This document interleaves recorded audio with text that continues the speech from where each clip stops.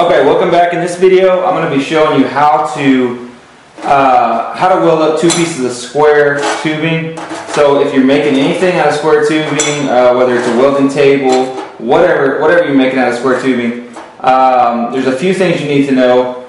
First off, um, when you are welding uh, square tubing like this, this this piece of square tubing. So when you start the weld right here and you tack all four corners of the weld, uh, all four corners of the square tubing to get it to tack it in place. You're going to start your weld, but what you're going to do is you're going to aim the, the weld puddle on this piece because there's more room for the heat to dissipate. So that uh, if, you, if, you aim the, if you aim the electrode at this piece, it's an edge. And, and just like we talked about, an edge will melt away really quickly. So uh, you're going to end up burning a hole straight through the edge if you, if you aim it at that. So do just like we do with a uh, lap joint. Aim at the aiming at the piece that has the most heat, uh, the heat absorption or heat uh, heat dissipation.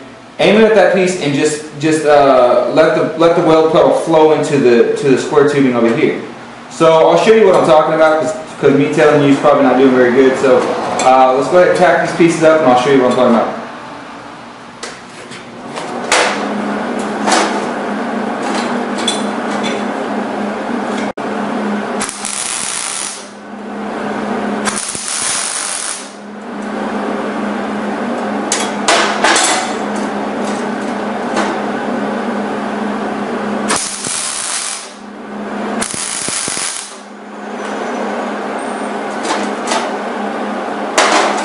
Okay.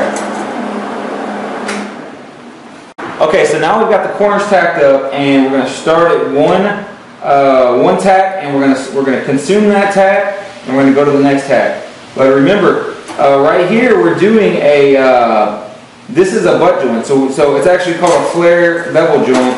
But uh, basically, what we're doing is a butt joint. So, uh, but you're making sure that you you just flow the the puddle into this side. When we turn it this way, set it up, we're doing a T-joint. So make sure you know the difference.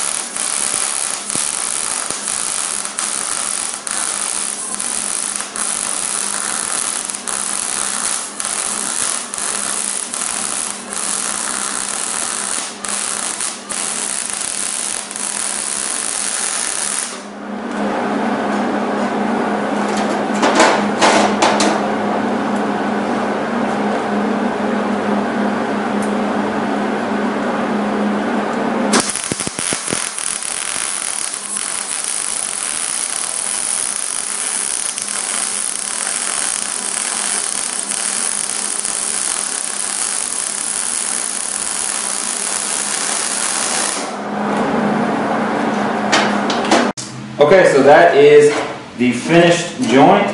And you can see we've got a continuous bead all the way around the joint.